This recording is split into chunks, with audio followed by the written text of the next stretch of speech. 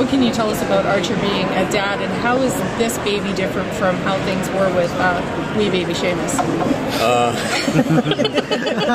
This one's not so Irish.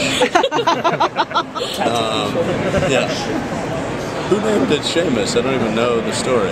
Is it an Irish prostitute? They like- yeah. Yeah. It's an Irish Yeah, prostitute. yeah, I believe Yeah. so.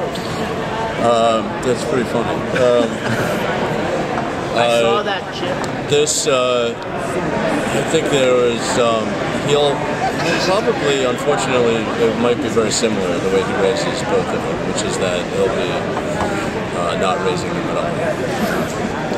Although this one, I think it would be like it's going to be impractical for Archer because it's it's like the office baby.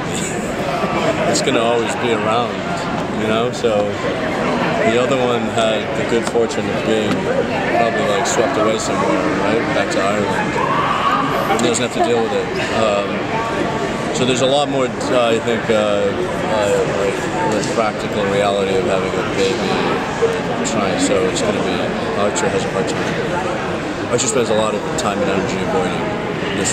He'll have to spend a lot of time.